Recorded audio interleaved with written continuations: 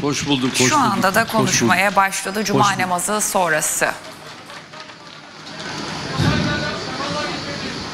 Kastamonu'nun saygıdeğer güzel insanları, sevgili kardeşlerim, değerli Bozkurtlu kardeşlerim, sizleri en kalbi duygularımla, muhabbetle selamlıyorum.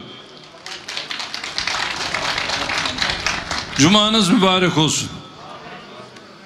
Salı günü başlayan yoğun yağışlar Kastamonu, Bartın ve Sinop illerimizde maalesef büyük sel felaketlerine neden oldu. Kastamonumuzda Bozkurt, Azdavay, İnebolu, Küre ve Pınarbaşı ilçelerimiz bu yağışlardan en çok etkilenen yerler oldu. Bartın'ın Ulus, Sinop'un Ayancık ilçelerinin kimi köyleri de selden ciddi manada etkilenen yerler arasında. Öncelikle hepinize geçmiş olsun dileklerimi sunmak istiyorum. Tabii bu arada maalesef ölen kardeşlerimiz oldu. Onlara Allah'tan rahmet diliyorum. Yakınlarına ve milletimize başınız sağ olsun diyorum. Bartın'da kaybolan vatandaşımızı arama çalışmalarımız sürüyor. Yaralanan vatandaşlarımızdan ilk müdahaleleri tamamlananlar taburcu edilirken az sayıda vatandaşımızın tedavisi halen devam ediyor. Rabbimden kendilerine şifalar diliyorum. Dünyanın pek çok yeri gibi ülkemizde bir süredir tabii felaketlerle boğuşmaktadır. Bu sadece ülkemizde olan değil. Amerika'sı da böyle, Kanada'sı da böyle, Almanya'sı, Avrupa'nın birçok ülkesi böyle. Hep bu tür felaketlerle şu anda boğuşuyorlar. Bir felakettir gidiyoruz. Ve temennimiz o ki bunlarla boğuşurken en az hasarla bu felaketleri atlatalım. Ülkemizin güneyinde geçmişte eşi benzeri olmayan orman yangınları yaşadık. Karadeniz'in doğusunda yaşananları biliyorsunuz. İşte Rize'de, Artvin'de olanları biliyorsunuz. Aynen burada olduğu gibi sel felaketlerini orada da yaşadık. Antalya, Muğla buralardaki yangın felaketlerini biliyorsunuz. Hamdolsun bu yangınların hemen hemen hepsini de kontrol altına almayı başardık. Ülkemizin kuzeyinde ise işte burada olduğu gibi sel felaketlerine maruz kaldık. Bir süre önce az önce ifade ettiğim gibi Doğu Karadeniz'de epeyce bir ilçemizde selin yol açtığı sıkıntılarla mücadele ettik. Birkaç gündür de Batı Karadeniz'de yine sel felaketleriyle uğraşıyoruz. Kastamonu ve çevresindeki illerimizde yaşanan felaketlerde hayatını kaybeden, zarar gören vatandaşlarımızın üzüntüsü milletimizin ortak üzüntüsüdür. Devlet olarak tüm imkanlarımızla felaketin ilk anından itibaren sizlerle beraberiz. İçişleri Bakanımız, Çevre ve Şehircilik Bakanımız, Ulaştırma ve Altyapı Bakanımız, Enerji ve Tabii Kaynaklar Bakanımız, Çevre Şehircilik hep birlikte bölgede şu anda çalışmaları sürdürüyoruz. AFAD başta olmak üzere Kızılay'ımızla birlikte yine bütün araç gereçleriyle buradayız. Aşından yemeğine ne gerekiyorsa hepsini yaptık, yapıyoruz, yapacağız.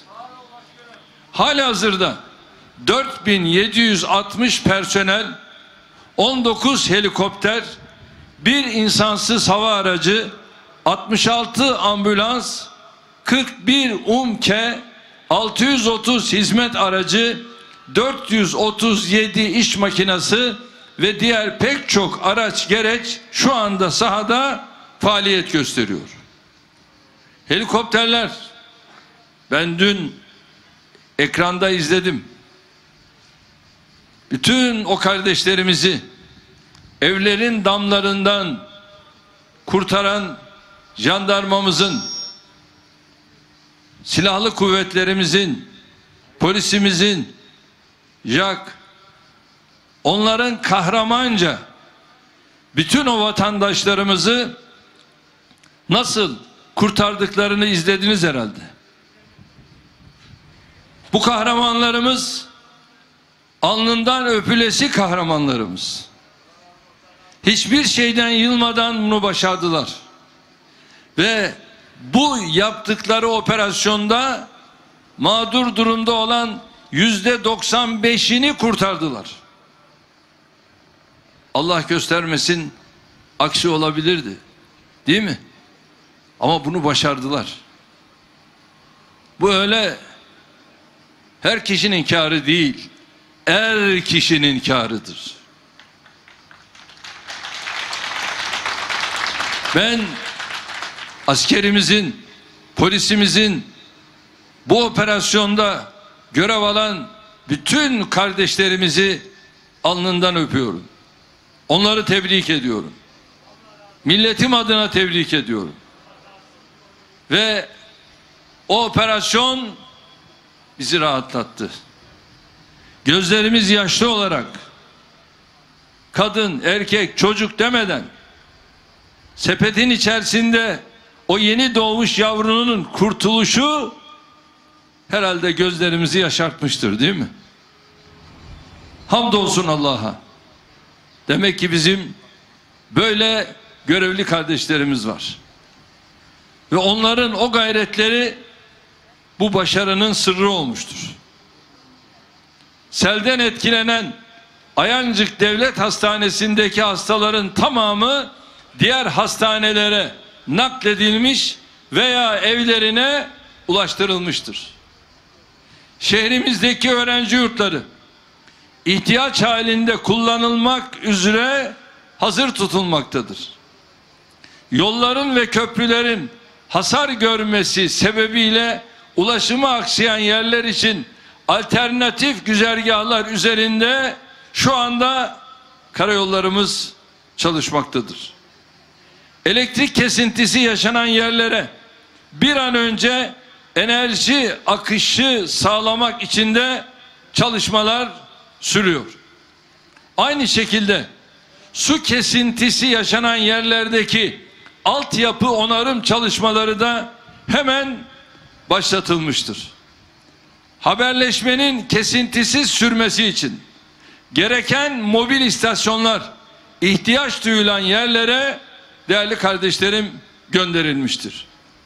Hasar tespit çalışmaları 3 ilimizde 120 ayrı ekiple yürütülmektedir. Kredi desteğinden vergi ertelemelerine kadar tüm acil tedbirleri devreye almış durumdayız. Her bir hizmet alanıyla ilgili ekiplerimiz sel felaketlerinden etkilenen bölgelerde kesintisiz görev yapmaktadır. Sivil toplum kuruluşlarımız da bu çalışmalara katılmıştır. Kurumlarımıza ilk etapta ihtiyaçları olan ödenekler hemen gönderilmiştir. Bölgedeki diğer illerde teyakkuz durumuna geçirilmiştir. Sel felaketinde evleri yıkılan vatandaşlarımızı yeni yuvalarına kavuşturmak için hemen kolları sıvıyoruz. Aynı şekilde sel sebebiyle mağdur olan vatandaşlarımızın zararlarının telafisi içinde çalışmalara başladık. Hayatını kaybeden insanlarımızı geri getiremeyiz. Ama devletimiz onun dışındaki her türlü kaybı telafi edecek güce, imkana, kararlılığa sahiptir. Bundan endişeniz olmasın.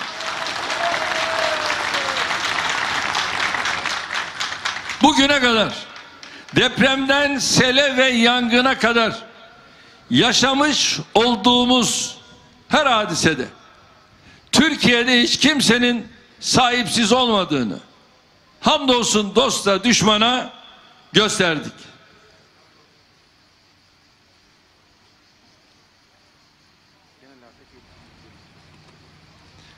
Bu arada diğer afet bölgelerinde de ifade ettiğim gibi burada da yine aynısını söylüyorum. Genel hayata etkili afet bölgesi olarak ne yapıyoruz? Burayı da aynı şekilde ilan ediyoruz. Kastamonu, Bartın, Sinop. Rabbim ülkemizi her türlü kazadan, beladan, afetten ve milletimizi de bu gelişmelerden kurtarsın diyorum. Kardeşlerim, tabii felaketler ülkelerin ve milletlerin birlik, beraberlik, dayanışma, paylaşma hazretlerinin öne çıktığı dönemlerdir. Bu işin siyaseti olmaz. Ama bakıyorum ki bazı kanallarda siyasetle yakından uzaktan da ilgisi alakası olmayan tipler çıkıyor. Bütün bu afetlerin neyi nasıl gelip götürdüğünden haberi olmayanlar çıkıyor. İleri geri konuşuyorlar. Bugüne kadar bir gramlık iş üretememiş olanlar ileri geri konuşuyorlar. Maalesef biz işimize bakacağız. Ve onların bu şekilde yaklaşımı bizi üzmez. Bizi üzen nedir biliyor musunuz? Böyle bir zamanda bir olmamız lazım. Beraber olmamız lazım. İri olmamız lazım. Diri olmamız lazım. Kardeş olmamız lazım. Milletçe bu milleti ayağa kaldırmamız lazım. Ama onlar bakıyorsunuz hala gelip Erdoğan'a ben nasıl vurayım da ona bir yerden yara vereyim. Dertler bu. Ya yara veremezsiniz. Yara veremezsiniz. Biz bu milletle beraberiz. Milletimizle beraber de bu yola devam edeceğiz. Allah'ın izniyle biz bir ölür bin diriliriz. Ve kardeşlerim inşallah şu afetleri de aşıyoruz aşacağız. İşte Antalya'yı, Manavgat'ı, Burdur Bucağı her yeri gördünüz. Bak Amerika'sı, Rusya'sı ya yangınların altından kalkamadılar hala. Ama hamdolsun biz 20 günü bulmadan buralarda bu afetlerden büyük oranda hamdolsun kurtulduk. Ama gece gündüz demeden benim tüm bakan arkadaşlarım oralardan çıkmadılar. Bütün kurumlarımız, kahramanlarımız yangın demeden oralarda çalıştılar. Ve şu anda hala aman ha diyoruz rehavet yok. Devam edeceğiz. Çalışacağız ve bu işi bitireceğiz. Millet olarak geçmişte depremler, işte yine yangınlar. Şimdi de seller vesilesiyle tek yürek, tek yumruk haline gelmeyi hamdolsun başarıyoruz. Elbette her dönemde olduğu gibi bugün de yine az önce ifade ettiğim bu bozguncular ülkemizi kötülemek, milletimizin arasında fitne sokmak için ortaya çıkabiliyorlar. Ama biliyoruz ki milletimiz bunların hiçbirine de itibar etmiyor. Yaşadığımız bizim ortak sevinçlerimiz gibi ortak üzüntülerimiz de birliğimizi, inşallah beraberliğimizi, kardeşliğimizi güçlendiren bir etkiye sahiptir.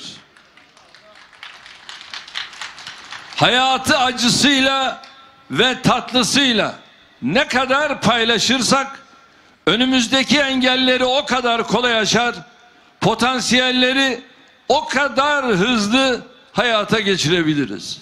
Bunun için hep geçmişten ders alarak geleceğe bakıyoruz. Evlatlarımıza daha iyi, daha müreffeh, daha huzurlu bir ülke bırakmanın, daha güçlü bir devlet teslim etmenin gayreti içindeyiz. Yıkılanın yerine daha iyisini yaparak, yananın yerine daha fazlasını dikerek, eksilenin yerine daha çoğunu koyarak yolumuza devam ediyoruz. Sağ olun. Ülkemizi gerçekten çok parlak bir geleceğin beklediğine tüm kalbimizle ve samimiyetimizle inanıyoruz.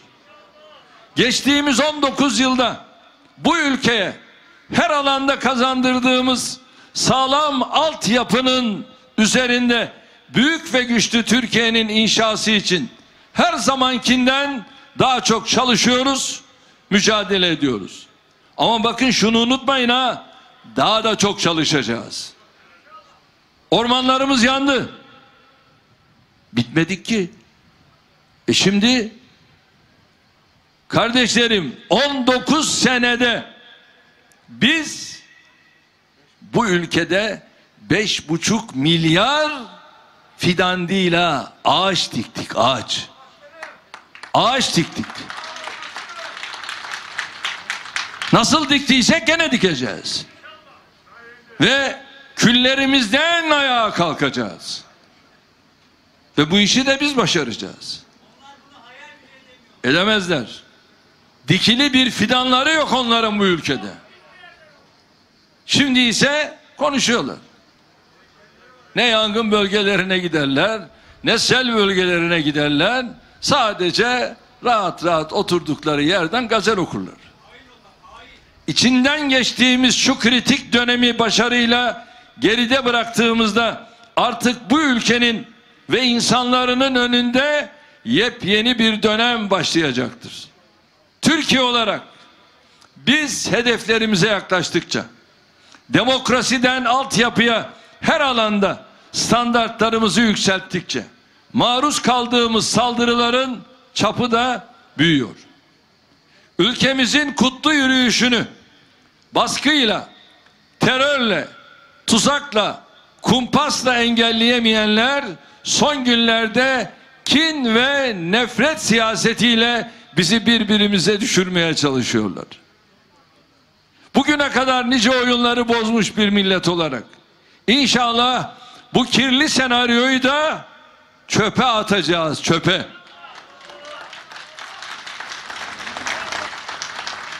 Kardeşlerim, bir olarak, iri olarak, diri olarak, kardeş olarak, hep birlikte Türkiye olarak önce 2023 hedeflerimize ulaşacak, ardından gençlerimizle birlikte 2053 vizyonumuza yöneleceğiz. Unutmayın, sahabenin, şühedanın, gazilerin, alimlerin şehri Kastamonu her dönemde istiklal ve istikbal mücadelesinde hep en önde yer almıştır. İşte az önce hocamızın da ifade ettiği gibi Nasrullah Camii bunun en önemli şahididir. Kiminle? Mehmet Akif Ersoy'la. Çanakkale'nin İstiklal Harbi'nin 15 Temmuz'un o kahraman şehrinin Türkiye'nin bu büyük dönüm noktasında da yine ben en önde yer alacağına inanıyorum. İnşallah sel felaketinin izlerini süratle silerek, yaraları sararak, kayıplarımızın acılarını beraberce yaşayarak bu günleri en kısa sürede geride bırakacağız. Önce ben diyorum ki bir kez daha şu sel felaketinde hayatını kaybeden vatandaşlarımıza Allah'tan rahmet, yakınlarına ve sevenlerine başsağlığı diliyorum. Gelin hep birlikte birer Fatiha okuyalım.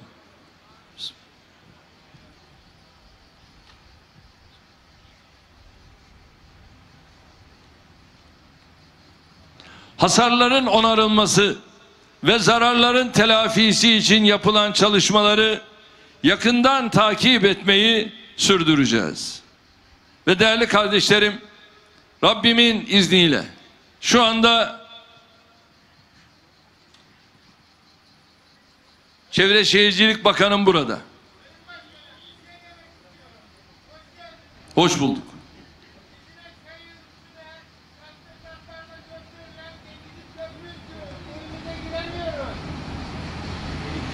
Onların endişe etmeyin. Bakın bugün Ulaştırma Bakanım da burada. Süratle geçicisini de kalıcısını da hemen onların üzerinde şimdi devlet su işleri devlet su işleri yarın çalışmasına başlıyor. Bunlar bizim işimiz. Siz rahat olun. Süratle biz şimdi biz şimdi gelirken helikopterde de bakanıma söyledim. Adil bakanıma artık düz köprü değil. Kemer köprü. Kemer köprü yapmak suretiyle de işte biliyorsunuz bütün bu ağaçlar bunlar geliyor ve ne yapıyor? Buraları tıkıyorlar. Ve mümkün olduğunca da betondan öte bunları inşallah taş köprü olarak da kemer köprüyü yapıp bunların köprü altından gitmelerini de sağlamış olacağız. Bunun proje çalışmalarını da bakanlık şu anda yürütüyor. Bakanlarımızla, valilerimizle, kaymakamlarımızla ilgili kurumlarımızla hep yanınızda olacağız. Rabbim yar ve yardımcımız olsun. Rabbim bizi ve milletimizi daha beterinden korusun. Hepinize sevgilerimi, saygılarımı sunuyorum. Tabii şimdi Çevre Şehircilik Bakanım burada. Biz bu konutlarımızı ne kadar zamanda şu anda bitirmeyi hedefliyoruz. En geç en geç bir yıl içerisinde her afette olduğu gibi burayı da hızlı Yani burayı da diğer afetlerde olduğu gibi Allah'ın izniyle fevkalade bir durum olmadıktan sonra Antalya'da verdiğimiz söz, Rize'de verdiğimiz söz gibi inşallah bir yıl içerisinde burada da bu konutları bitireceğiz. Tabii Ulaştırma Bakanlığımızın çalışması ayrı bir alan. Onlar da altyapı ile ilgili çalışmaları süratle inşallah bitirecekler. Öbür tarafta Enerji ve Tabii Kaynaklar Bakanlığımızın çalışmaları var. Onlar zaten süratle biliyorsunuz elektrik vermeye başladılar. Birçok yerde elektrik verildi. Su konusunda da zaten su verilmeye başlandı. Hamdolsun durmuyoruz, çalışıyoruz, çalışmaya da devam edeceğiz. Allah yar yardımcımız olsun. Hepinizi Allah'a emanet ediyorum. Sağ olun.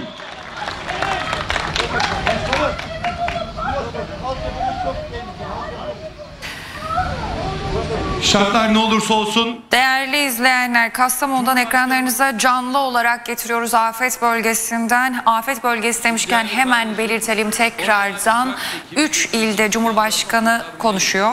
Gönderiyoruz. İçişleri Bakanım bu konuyu yakından takip ediyor. İşte gerekli olan bütün iş makinalarıyla beraber orada çalışmayı sürdürüyorlar.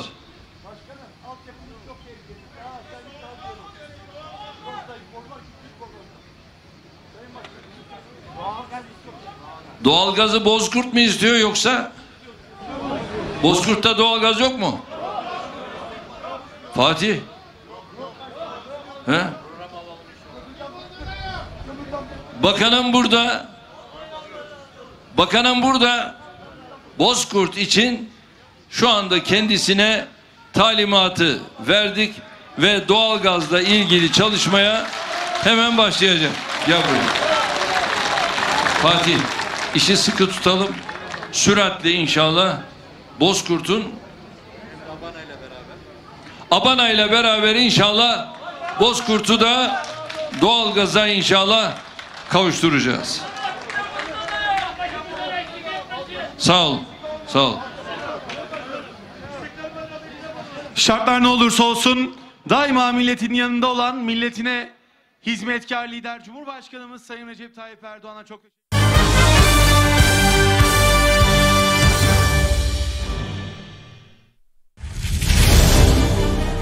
Merkez Bankası bir kez daha politika faizini pas geçti. Kara piyasalarda nasıl yankı bulacak? Kamuoyunda giderek büyüyen sığınmacı öfkesi Ankara'da sokak olaylarına dönüştü. Olayların ardından iktidar kanadından muhalefete gelen nefret dili eleştirisinden muhalefetin yaptığı itidal çağrısına kadar. Suriyeli ve Afgan sığınmacı polemiği nereye evrilecek? Mine uzun soruyor. Ekonomi bölümünde Bahçeşehir Üniversitesi öğretim üyesi